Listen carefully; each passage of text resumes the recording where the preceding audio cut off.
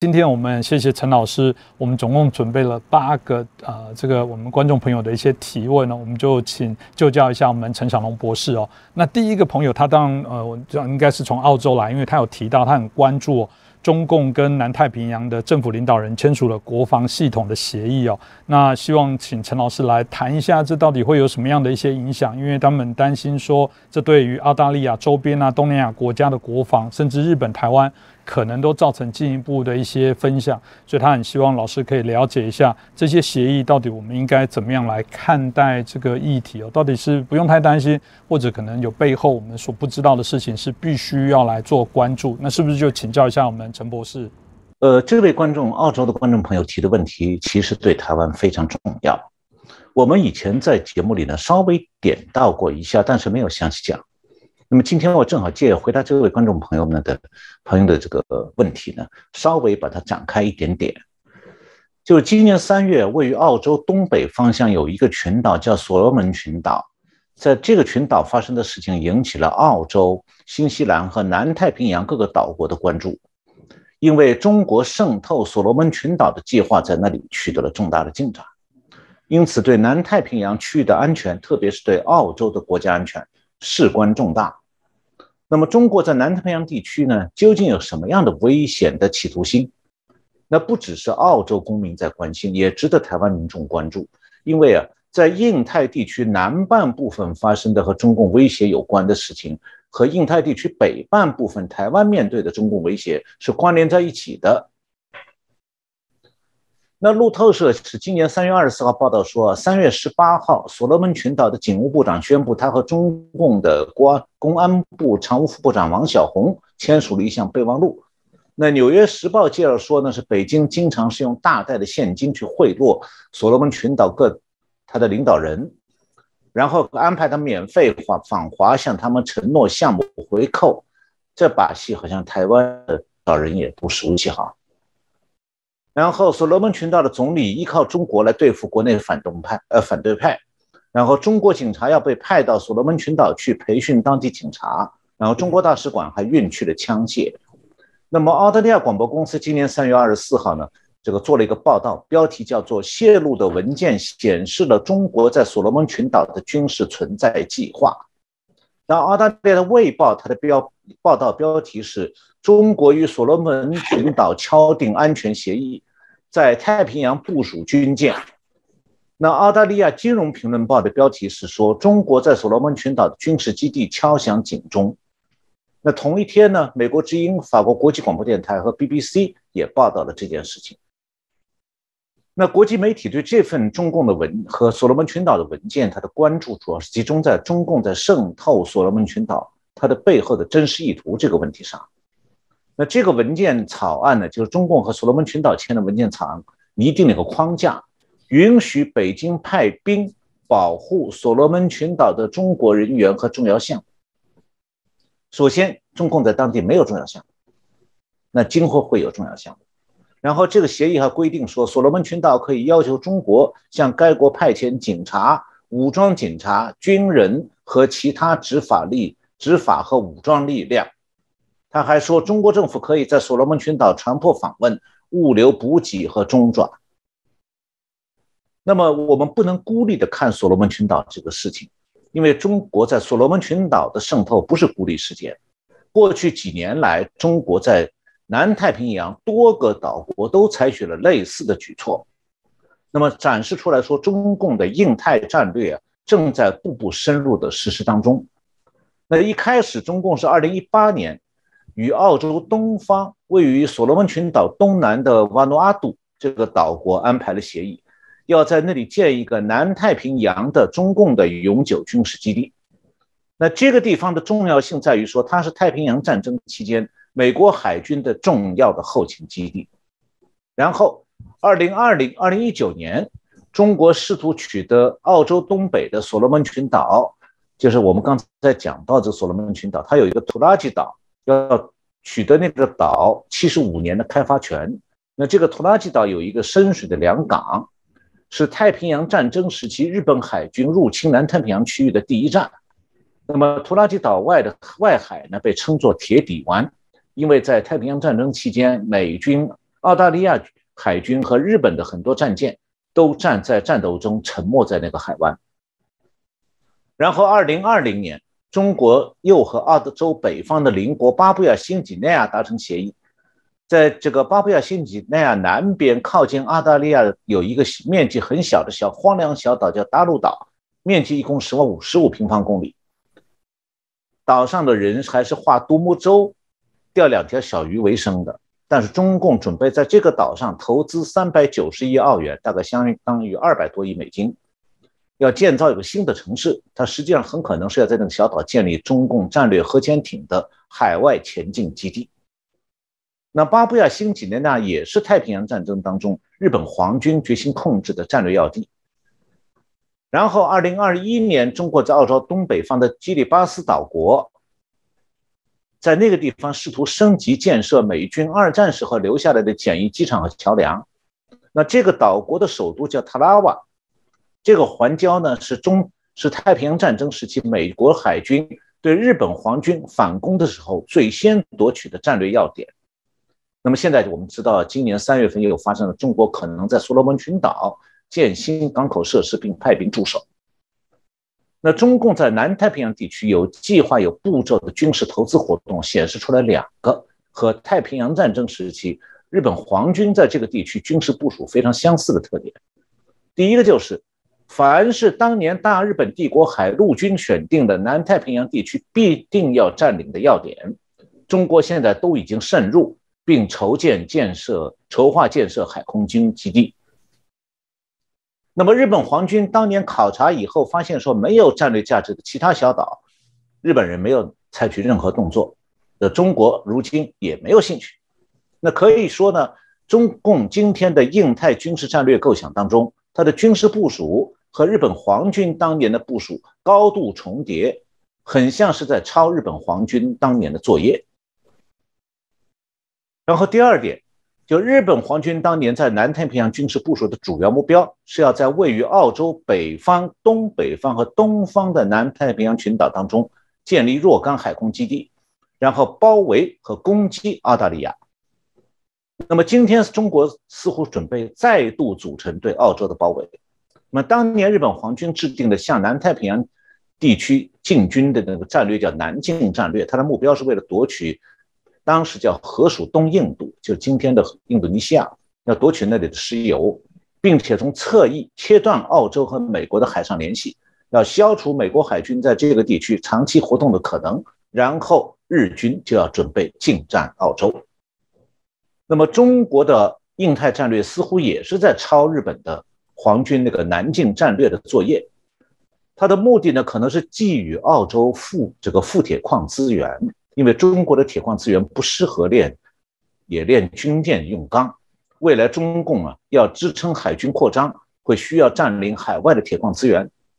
那中共在南海造岛建多个军事基地，也就是它的南进战略的组成部分。那么从这个南进战略当中呢，我们可以看到中共的扩张野心相当大。向东威胁台湾和日本，向南威胁澳洲，这是一个整体性的对外扩张战略。所以，我们现在已经进入了一个太平洋不再太平的时代，澳洲和台湾都不得不对此未雨绸缪了。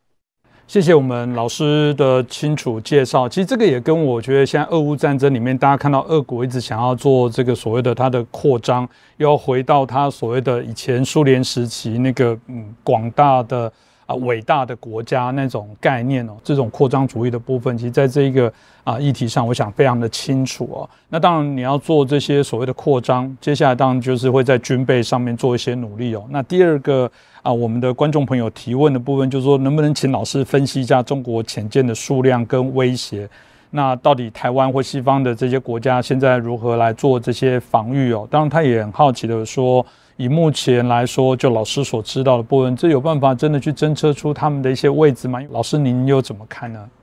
呃，中国海军呢，目前为止大概是一共有八十艘潜艇，其中呢分两类，一类是弹道飞弹潜艇。这样的潜艇是八艘，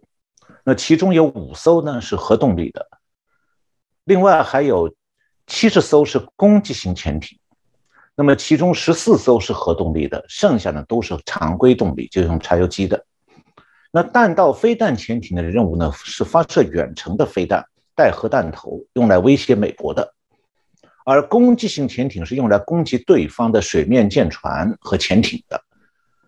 其中呢，核动力潜艇它的水下潜航时间长，下潜深度也比较深。那目前中国的潜艇核潜艇技术呢，大概比美国落后三十年。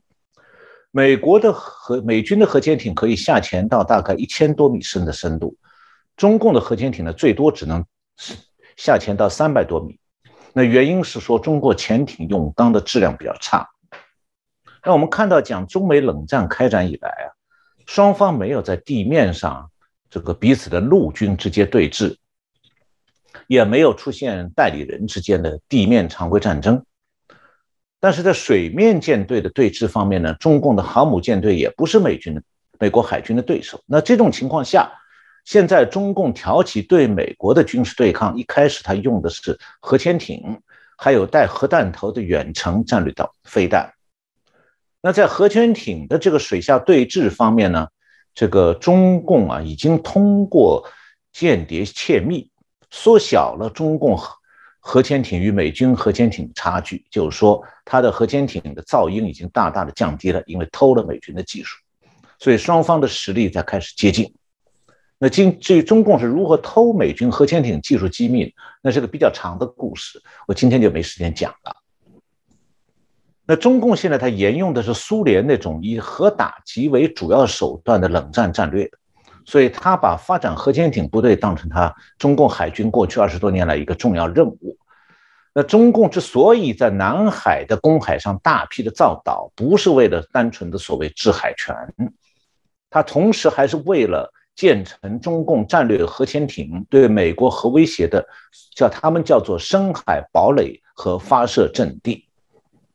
那二零二零年十月二十号时候，中共的外宣官媒曾经登过一篇文章，他说啊，鉴于美中美围绕台海、南海的较量趋于白热化，中南海当时正在巩固它并不强大的核武库和核威慑能力。那么其中呢，空射飞弹。和这个潜射飞弹，空射就是用轰战略轰炸机发射的远程飞弹，潜射飞弹就是刚才讲的战略核潜艇发射的飞弹。这两种就是空射飞弹和潜射飞弹都成了中共现在这个对美较量的重要项目。他其中披露了两点，一个就是中共的扩军备战矛头直指美国，而不单纯是台海，这中共自己承认的。他要挑战美国，不只只是要什么统一台台湾之类。第二就是中共扩军备战的重点之一，这也是中共自己讲的，是要加强对美国远程核威胁的各种军事装备。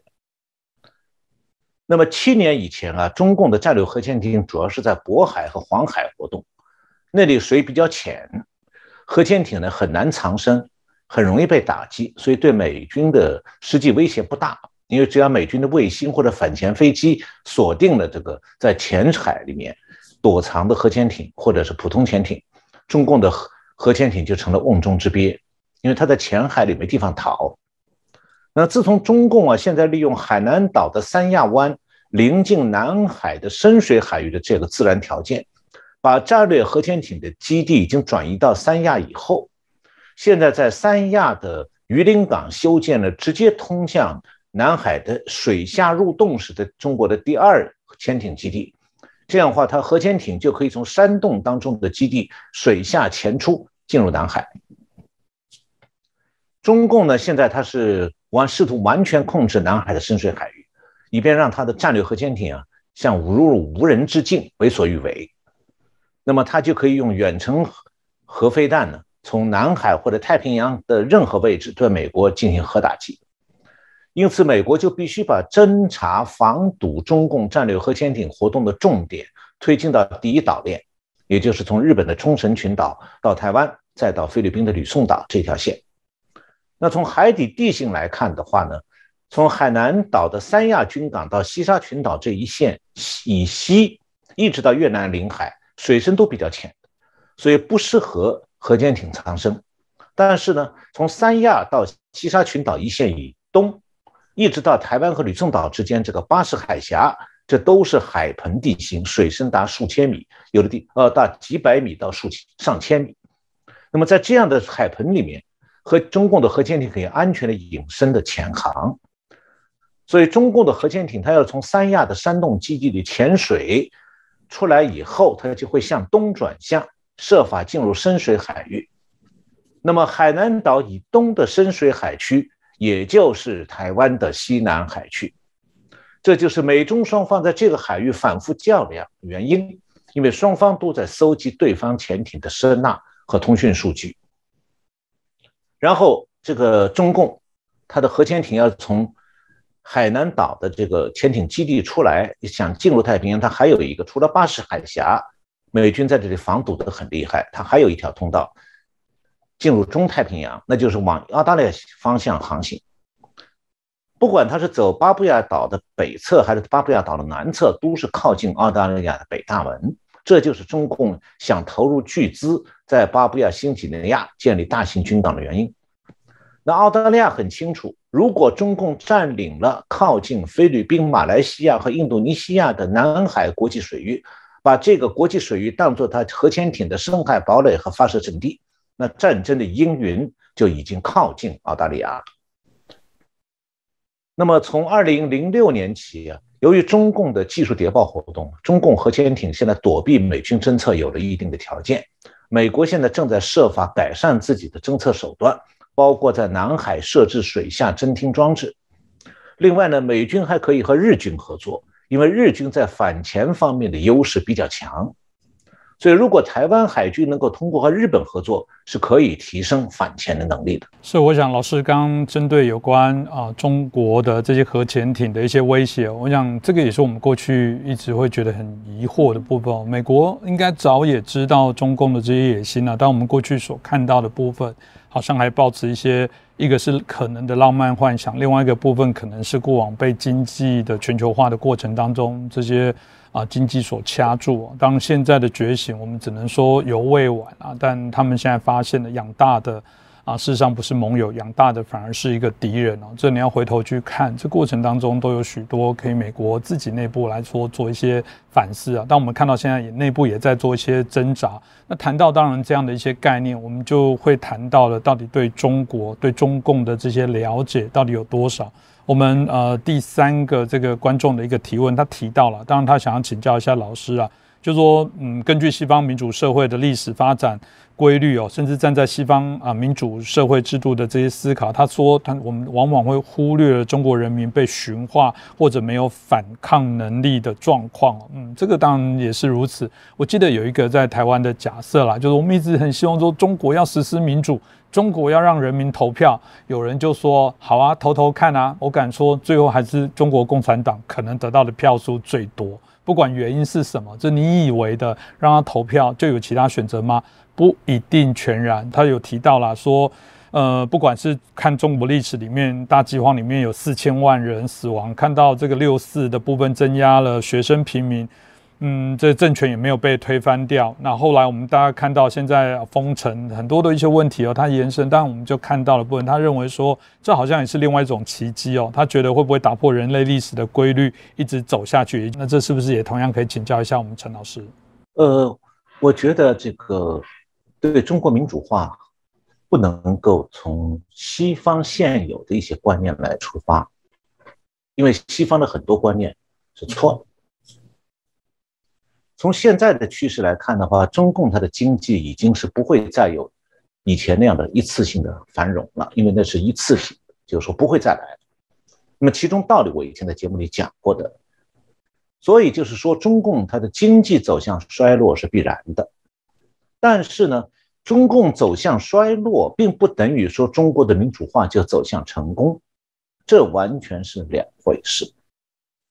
呃，那种以为中国周围的民主国家可以坐等中国民主化，从而避免中共的对周边国家的威胁呢？这种看法是源于西方的政界和学界对共产党国家民主化的三个错误判断。这第一个错误判断就是说。西方很多人以为说共产党的政权拥抱了市场经济就会自己走向民主化，这是把东亚国家，包括台湾、韩国民主化的经验胡乱的套用到共产党政权身上而产生的错误。我九十年代初在普林斯大学一政治系一开始上课的时候，我们学到的就是东亚民主化的经验，给我们讲了一大堆，然后我也看了很多，然后我发现说这些东西跟中共产党国家其实没有太多的可比性。因为台湾和韩国虽然它原来是维权政权，但它不是共产党统治啊。再加上在国际关系方面呢，这个台湾、韩国原来对美国的支持是有依赖的，因此本土的民主化是能够借助国际压力的。但是这种情况不会发生在共产党政权之下，所以外部势力会影响中国民主化这个假设根本就不存在，不成立。也英文来说就 doesn't work，不灵的。那第二个错误就是西方国家的第二个错误判断是说，以为民主化就只是政治制度形式上的改变，结果就是他们会只看形式上有没有总统选举或者国会选举，然后是不是有一定程度的言论开放和新闻管控松动，以为这样就算完成民主化了。其实啊，如果这样的一种松动，是明原来的红色精英所操纵的，而这种所谓的民主化，它只是换了外衣的颜色。我以前在节目中讲过，俄罗斯就很典型。其实很多这个前俄罗斯集团的国家都差不多，就是那个精英还是同一批人。原来就像台湾那个选举时候穿的夹克，外面是白的，里面是红的。他原来是把红色穿在外边，现在反过来一穿变成白色了。他说他已经是民主政党了，其实都是共产党精英。那么他们只是这样呢？就是他没有在民主化过程中换精英的组成，精英没有经过淘汰，精英的价值观也同样没有改变。那么俄国就是最好的例子，也就是说，这种形式上表象的表面的民主化，最后反而诞生了新的威权当局。那第三个，西方这个。政界和学术界判断的错误就是，西方国家的政治学界不懂得共产党国家民众价值观的转型是非常艰难的。但是呢，如果社会上继续保留共产党时代留下来的红色价值观，就可能导致共产党国家政治转型的失败。我以前在节目里介绍过，我研究了共产党国家的转型以后，发现说。真正能够转型成功的只有中欧的少数几个国家，像捷克、波兰。那有原因是有一个特殊的原因，就是这些几个少数成功的国家，他们是历史上和苏联是有血仇的，这样才产生了这些几个少数成功的国家，他们有一种社会共识，就是必须彻底抛弃红色的价值观。但是大部分的前苏联集团的国家。转型制度转型都不成功，或者说失败了，因为社会上的红色价值观根本就没有转型，所以得出一个结论，就是说共产党国家的转型啊，不是只有一条成功之路哦。实际上，共产党国家的制度转型有三种结果，其中两种，一种是俄国式的，一种中国式的，都是通向失败的。那么对台湾来讲啊。我觉得是有一件事情可能是需要提醒我们的观众朋友们，就可能台湾需要长期面对一个就算有民主化也不容易成功的中国。那么这是对就台湾的这个观众朋友们来看的。那对中国大陆的观观众朋友们呢？现在几乎很少有人意识到，